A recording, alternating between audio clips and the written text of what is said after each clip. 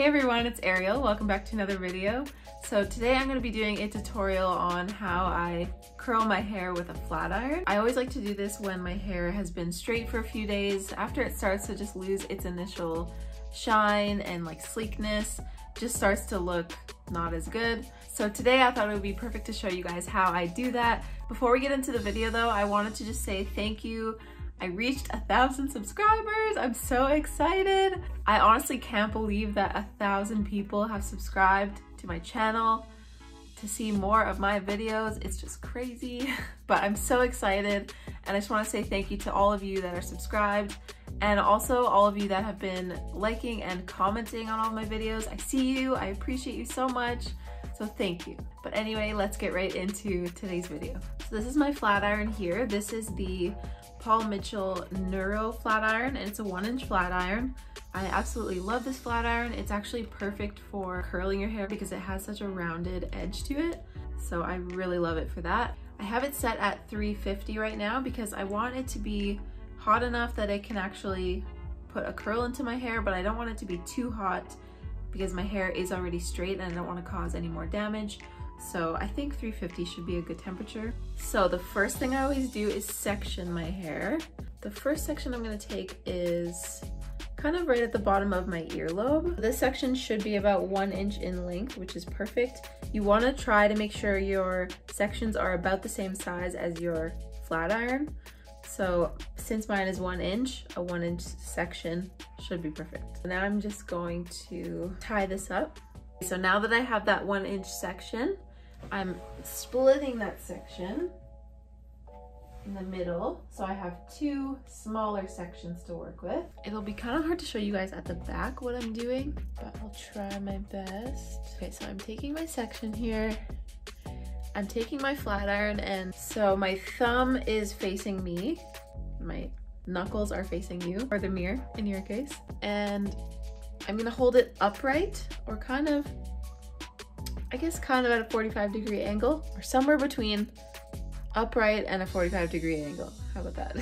and so this is gonna go really quick, but I'll try show you guys. So I'm twirling the flat iron immediately and then just pulling it all the way through. And now I have a little curl and that should be perfect. And I'm just gonna do the same thing on this side. And I'm also curling these pieces away from my face. I like to curl most of the pieces away from my face just because it's usually the most flattering. There we have it. Since my hair is so short, this is kind of more of just a flip, I guess, but that should be perfect for now. So then I'm gonna move on to the next section. Again, try to aim for about a one inch section, or if you're using a bigger flat iron, go with a slightly bigger section, but not too big. So I'm gonna go now at the top of my ear and then just section that away. So now we have this next section to work with. So this one is actually big enough where I think I can split it into three. So one on each side and then one in the middle, if that makes sense. Of like that start on this side now. You also wanna make sure there are no tangles in your hair, so I'm just gonna brush through this section a little bit just to make sure. I did brush through my hair before I started filming, but just in case. So now same thing. So putting my flat iron up, but kind of at a 45 degree angle. Try not to burn myself. Right now it's not clamped on there, by the way. You don't wanna leave it sitting on your hair at all, ever, because you're gonna burn your hair. We don't want that. So putting it in and now I'm gonna clamp down. Oh, also I'm going in at probably an inch and a half or so from my root because I don't want to go right up. I don't want to start the curl too close to my root.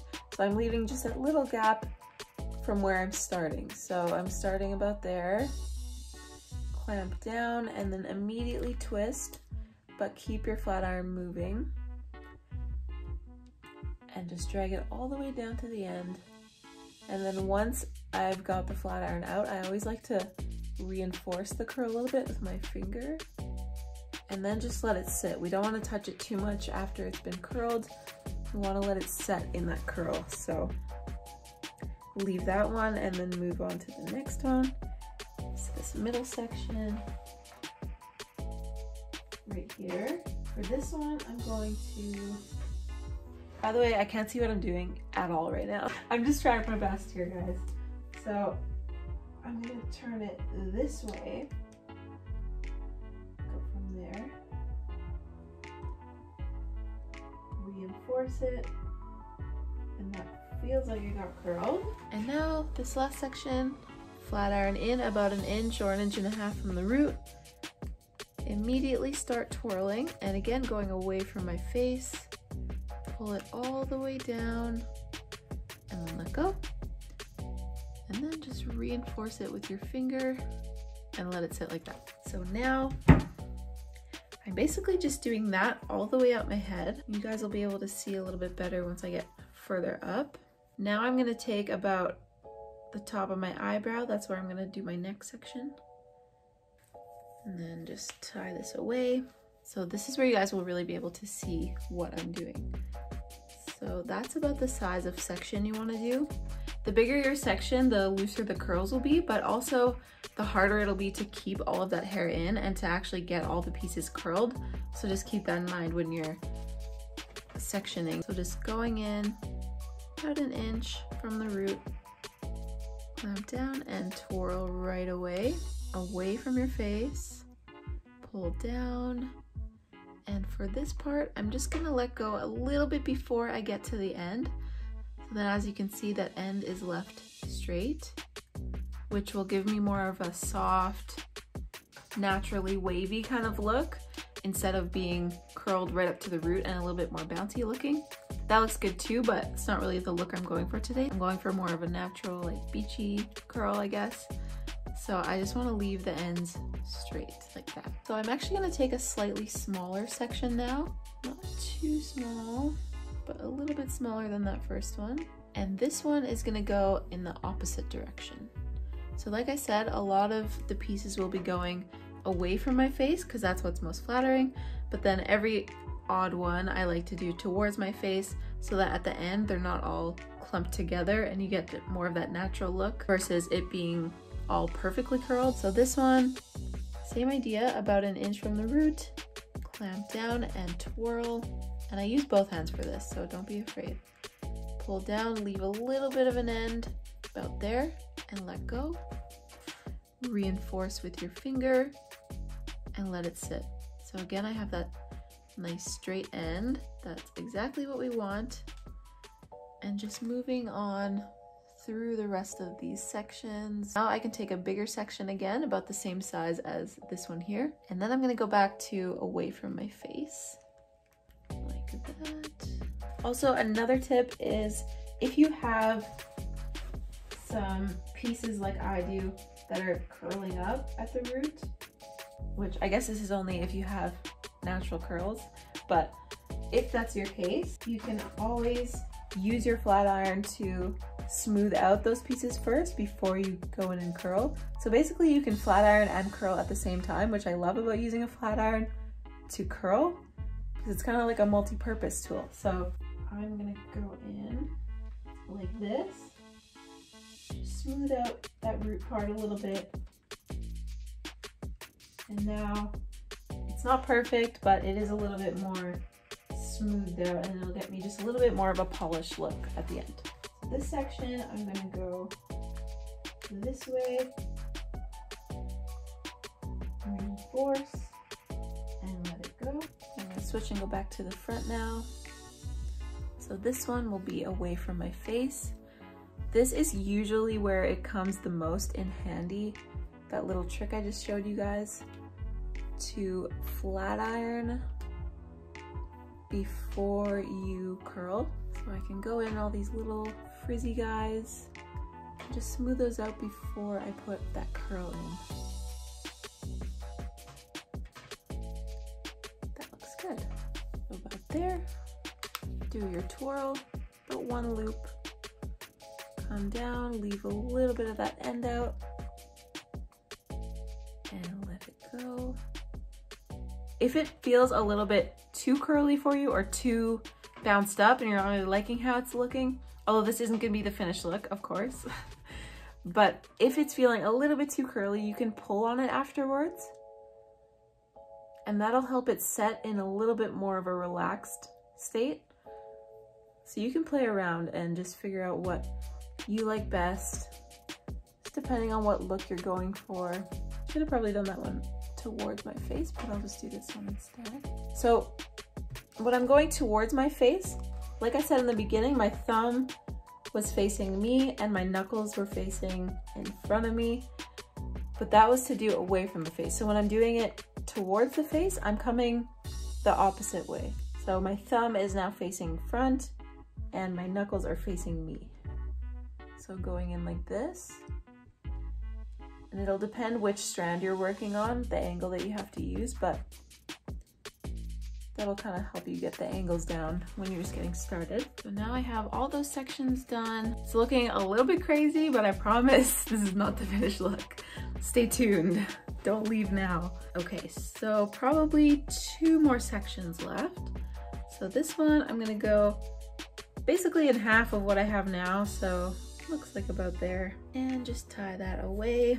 For this section, I'm gonna do something a little bit different. I'm gonna take a diagonal section and I'm gonna take it a little bit bigger than I did the last one.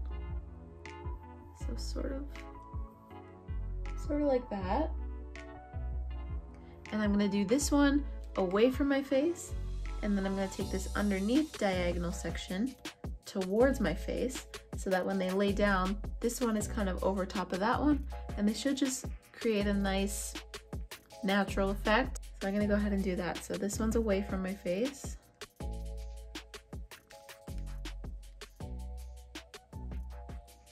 Leave that end out and reinforce it with your finger. It's a little bit too bouncy, so I'm just gonna tug on it.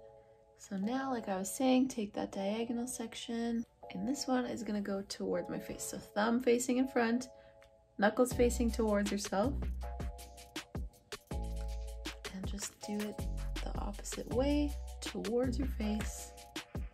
Reinforce it and let it go. And basically just going around doing this exact same thing around my whole head. This is actually the first time I'm curling my hair now that it's short. Like, I haven't tried this at all since I cut my hair, so you're seeing it here first. Also, once I get to the back of one side, I like to kind of stop there and then go back to the front because that's where I can see which direction I want the curls to go. And if I start at the back, I might start there and end up being here and then realize I wanted to do this one that way and this one that way. So it just works better if you start at this at the front where it's gonna be more visible. So now I'm gonna switch to the front of this side. And I'll do that same diagonal section that I did on the other side. Sort of like that. This one will be away from my face Do your twirl and pull down. So you gotta be careful your ends are not gonna fall out of your flat iron like mine almost did. Also, this is a good example of how it doesn't always turn out perfect.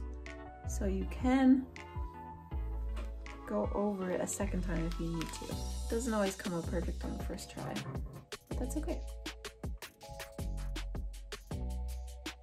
Just recurling it a little bit. And it's not perfect, but that should do it. Have about two more sections here. So first one is that one going towards my face.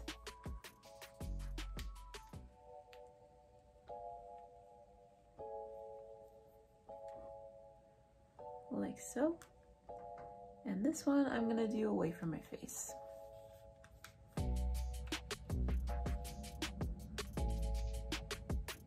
And if you have really stubborn hair, you find that your hair doesn't hold the curls very well, you can use hairspray after you're done curling each section.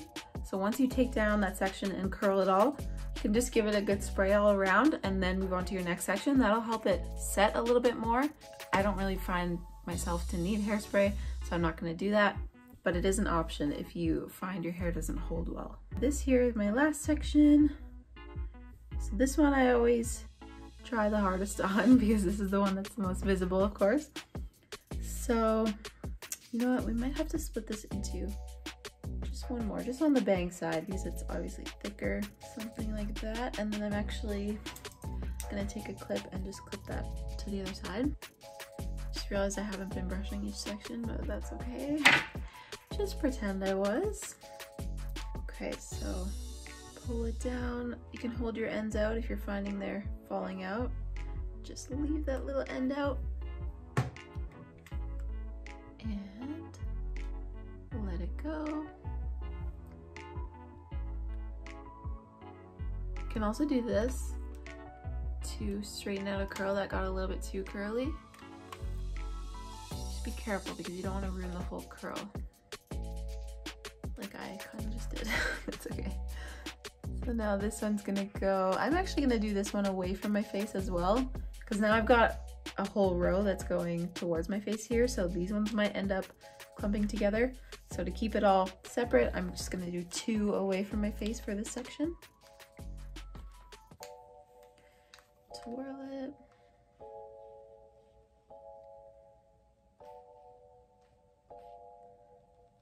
Leave that end out.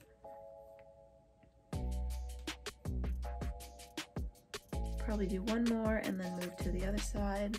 So this one is going to go towards my face actually. So thumb is facing in front of me, knuckles facing towards me.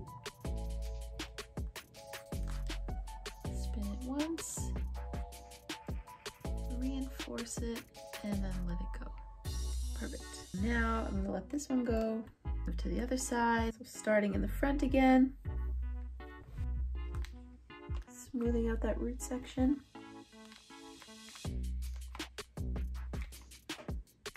This one's going away from my face.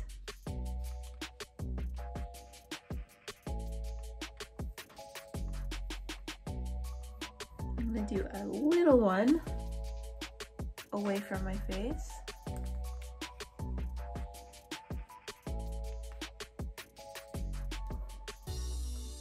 Then I'm gonna do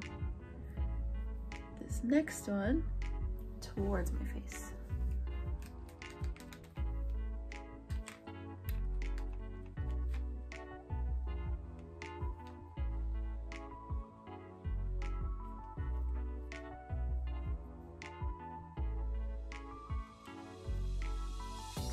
I'm really focusing on smoothing out the root in this last top section because that's where it's going to be really noticeable. If I have curly roots and then wavy ends, it's just not to look very good. So I want to make sure I'm smoothing that out as much as I can.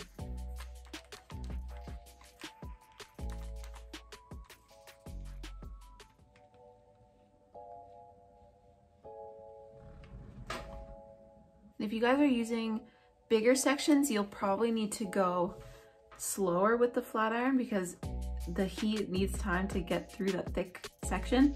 So go a little bit slower, take your time. And if you're using smaller sections, go faster because you don't want to stop and burn your hair. That's just not going to be good. So just keep in mind that the speed you're pulling that flat iron down is going to make a difference depending on how thick your section is. So now this is my last section. Let's see, what do we want to do here? I think I'm just gonna do somewhat of a diagonal section.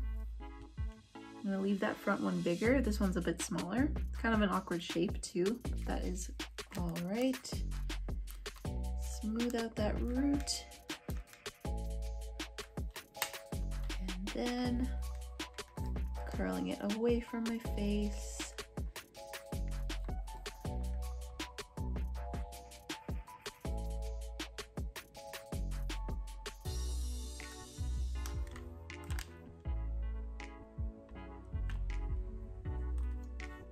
This last section, this is the bangs, and I'm going to also curl that one away from my face.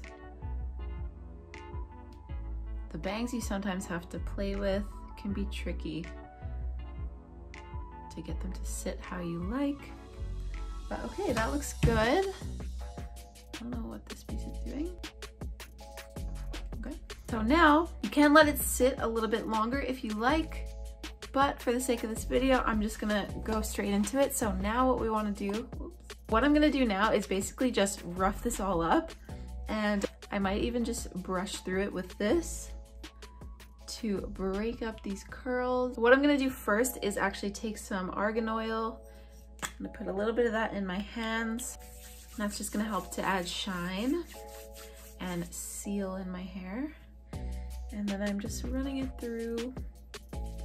So at this point, I'm not worrying too much about ruining the curls because they are gonna set themselves. And I also want it to be looser than it is right now. Got that oil in there. I've sort of roughed them up with my fingers. And now I'm going in, this is just my wet brush. Just gonna use that to brush through and really soften out those curls. So this is obviously making the look a lot more soft and giving me more of that loose curl. So if you want it to be a little bit more curly, you can leave it how it is when you, um, right when you finish curling. So it's all up to you and how you want it to look, what vibe you're going for. So now I'm just gonna play around and just move pieces around until I like how it's sitting. I can recurl pieces if I want to. Something's not sitting quite right. Can also add in like some teasing at the top if you like. I think I'm gonna do this little tuck. Seems to be working. Okay, this is pretty much the finished look. Let me know what you guys think. Let me know if you try it yourself. I'll show you at the back. I can't see how the back looks, so.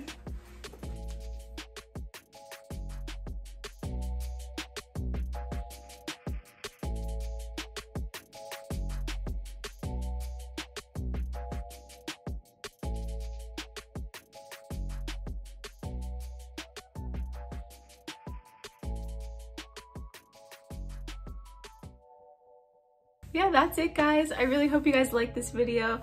Um, if you did, please leave it a like and leave me a comment as well. Let me know what you thought of it. And also please subscribe if you're not subscribed already.